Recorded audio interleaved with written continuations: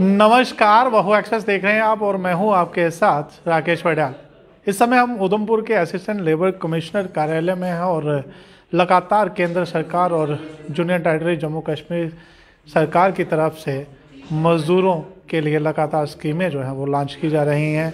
इनमें से एक ई श्रम कार्ड है।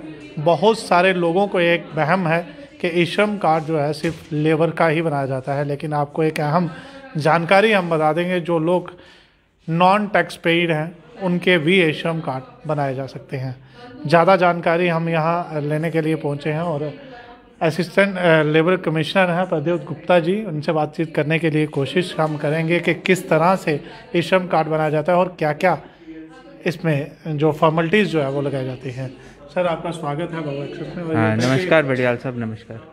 ये चीज़ बताएँ कि बहुत सारे लोगों में आज भी ये कंसेप्ट है कि सिर्फ़ लेबर के ही श्रम कार्ड बनाए जाते हैं। ये चीज़ क्लियर कर दीजिए और किस तरह से इस पोर्टल में देखिए बड़ियाल जी, आपने बहुत अच्छा क्वेश्चन पूछा। एक जनरल एक धारणा है कि ये जो ई श्रम कार्ड है सिर्फ़ कंस्ट्रक्शन वर्कर या लेबर क्लास तबके का बनता है। लेकिन हमारे ऑनरेबल पीएम का एक विज़न था।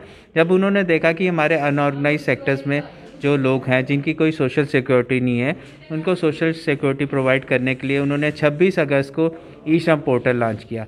अब ई श्रम पोर्टल में क्या है कि कोई भी अनऑर्गेनाइज वर्कर जैसे constructor worker domestic workers gig workers platform workers shopkeepers कोई भी अनऑर्गेनाइज जिनका प्रोविडेंट फंड नहीं कटता, जो ईएसआई में कवर नहीं है और जो इनकम टैक्स पे ही नहीं है, वो इस कार्ड में कार्ड बनवा सकते हैं और ई श्रम पोर्टल में अपनी रजिस्ट्रेशन करवा सकते हैं।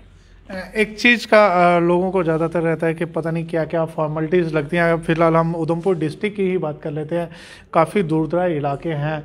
जैसे डूडू बसंतगढ़ है तो आजकल सर्दियों के दिन है, दिन भी छोटा होता है तो कई बार लोग जो है वो टाइम पे नहीं पहुँच पाते हैं और उनको ये रहता है कि क्या क्या फॉर्मेलिटीज़ जो है ई श्रम कार्ड बनाने में लगती हैं। ये चीज़ थोड़ा क्लियर कर दीजिए, किस पोर्टल में उनको जाना है और किस तरह से अपने आप को रजिस्ट्रेशन करवाना देखिए ई श्रम पोर्टल में रजिस्ट्रेशन का बहुत सिंपल प्रोसेस है। और किसी कार्ड या और किसी स्कीम में आपने रजिस्ट्रेशन करानी है तो आपको पाँच छः डॉक्यूमेंट्स लगाने पड़ेंगे।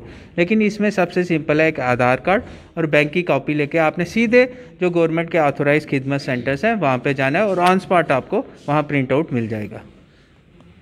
लेबर को लेके जो है लगातार केंद्र सरकार जो है वो गंभीरता से ले रहे हैं। अभी माननीय प्रधानमंत्री जी ने भी अपने संबोधित में कहा कि गरीब का चूल्हा जो है वो जलता रहना चाहिए, किसी ना किसी तरीके से जो है वो उन गरीबी रेखा के जो लोग हैं उनको बड़े गंभीरता से लिया जा रहा है।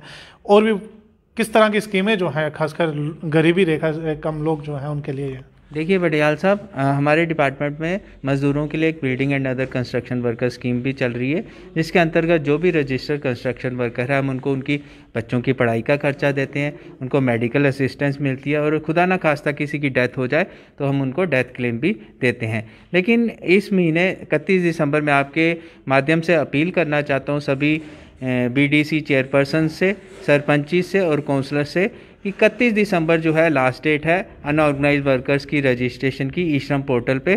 तो आपके माध्यम से मैं सबको कहूँगा कि अपने वार्ड्स में, अपनी पंचायतों में, अपने एरियाज़ में जितने भी अनऑर्गेनाइज गरीब तबका है, उन सब की रजिस्ट्रेशन करवाएँ। जी, बिल्कुल, आप सबके लिए एक अहम जानकारी है और खुशखबरी भी है।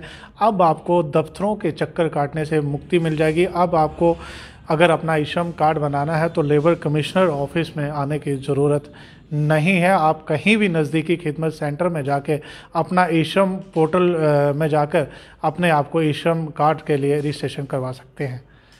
कैमरामैन रोहित के साथ राकेश पटियाल बाहू एक्सेस न्यूज़, उधमपुर।